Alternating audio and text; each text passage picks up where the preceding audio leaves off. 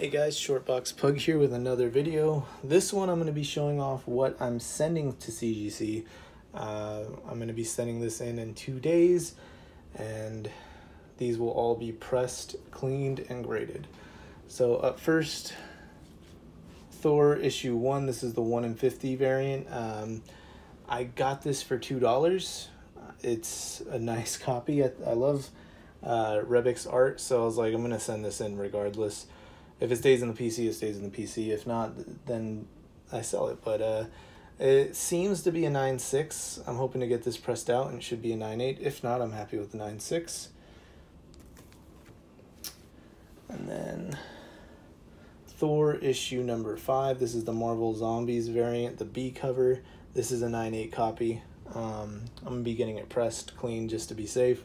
And I will be very happy with the 9.8 when this comes back.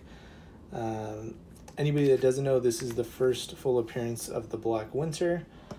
It's a big key at the moment, and uh, I'll be sending in another A cover. I already have one currently at CGC, so I'm going to send over another one. So that's two, three, four, five, six A covers in total. So very happy about that. So in total I have seven of these. I just actually got another one today for cover price, but that's included in here. So I have seven A covers that I'll be getting back from CGC. And then also the 1 in 25 variant.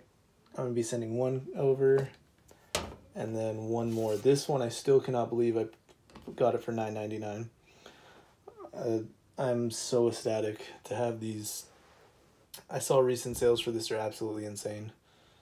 Um, glad to have paid very very little for this one. For the other one I did pay about a hundred bucks, but I kind of I can justify it since I this is my second one now.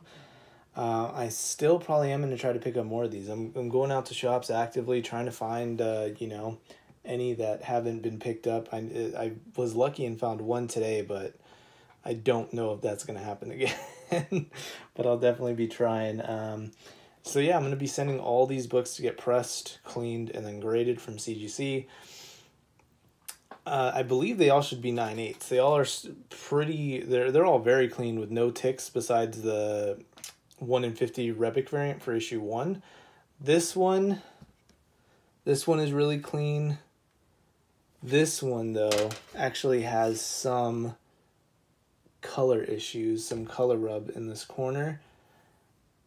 Then I think towards the bottoms, I I think it was just this one actually but it is a little significant. So I would I would be okay with a nine six or even a nine four because I want to keep one of these and flip the other.